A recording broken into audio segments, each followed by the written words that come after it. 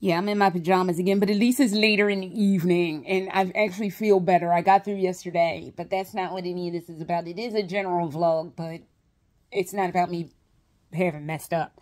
Well, I messed up, but not in the way you think. So, I'm struggling to find something to watch. We have like 11 different apps, and nothing is providing me with the entertainment that I need. So, I'm down to Apple TV, which, oh fuck, I gotta pay them. They're gonna be charging my account tomorrow. And I really don't want this because I really hate, I hate, I hate Apple TV so much. So, okay, they had a show that I figured my husband would be into because my husband likes sci-fi stuff. I love, I don't, actually, I don't love, I don't, I like, you would think, for all my dorkdom, that I would love fantasy and or sci-fi. Neither of those things hold interest to me.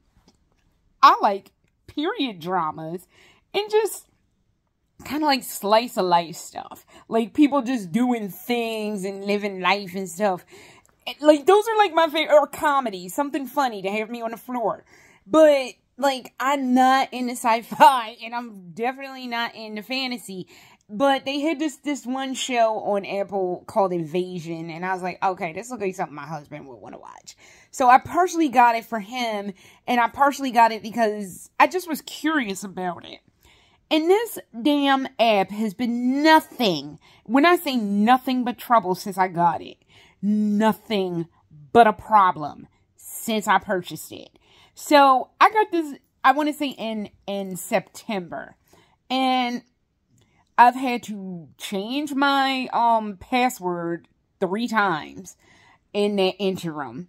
Like setting it up, I recently Starz Starz scammed me by the way. That Starz app, they fucking scammed me because like they were like, oh, you get Starz for like a year for like forty dollars, and I was like, okay, and I thought they had some good programming. The lie detector determined that was a lie. So, like, it was alright. Like, the programming I was watching was alright, but, like, it was just alright. It was, I don't know if it's like $40 for a year in entertainment, but it's already paid for and it's too late.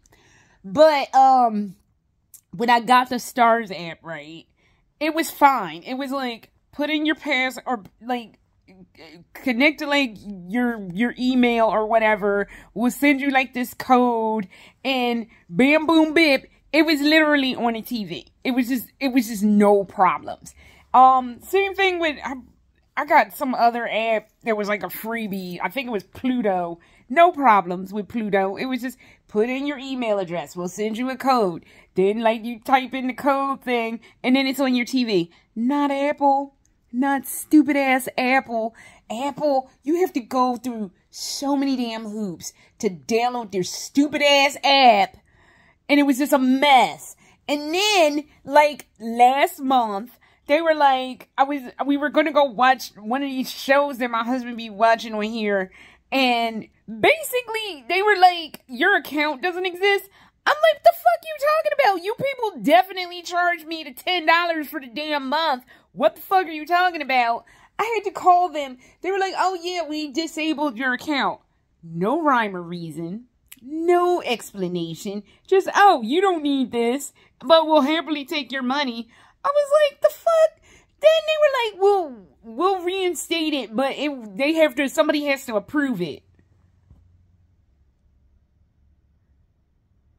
Okay. So the next day it was approved and everything, but it was a fucking fiasco. Then I had to change my password for a third damn time. It's functioning now, but it's not a shit ass thing on here I want to watch. Then I was gonna watch because I am like the last human on earth that probably hasn't seen the Barbie movie. The people on that island that that's a that, that's like owned by India, but no one's allowed to go to it because they they be killing people, and rightly so. So they've probably seen the Barbie movie, but um. I haven't seen the Barbie movie yet. They had the Barbie movie on on Cribble. I was gonna watch it. I was gonna pay literally thirty dollars to watch it. They were like, oh, you need to update to the Apple um iOS, basically. I was like, how the fuck are you going to tell me? First of all, this is on a Samsung television. I don't, even though you have Apple TV, I do not think there is an Apple television set that you can buy. I think they just put their shit on these other TVs.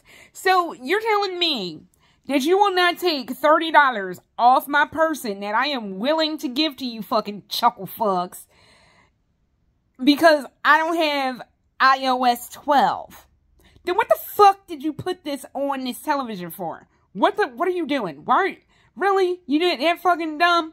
And then I was I was like, fine, whatever. And then I tried to find a workaround. Like I was like, well, maybe if I get an Apple card or something and like attach it to the Apple TV app. I fucking hate Apple. It's just like I keep threatening my husband that I'm going to get rid of. You know what? I'll keep it till the end of the year. Come January 1st, I'm cutting this mess off because I don't understand why this app is so damn dumb and like I, I, I and I hate I just hate it here and it really it's it, like this I have to admit is an app solely for my husband. They like they have some stuff that I could go for watching but their pay, they won't let me pay to watch the Barbie movie. They won't let me pay to watch that Chevalier movie.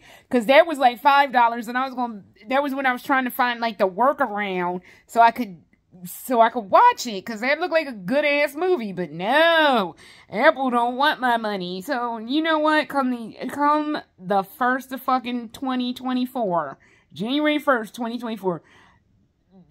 I'm cutting them off at the damn knee because this is some bullshit over here. This is the most bullshit app I have ever had to partake in. And I would have thought of anybody, they would have had their shit together, but apparently not. That is just way too much to ask. So, I don't know, but I'm not amused. Later.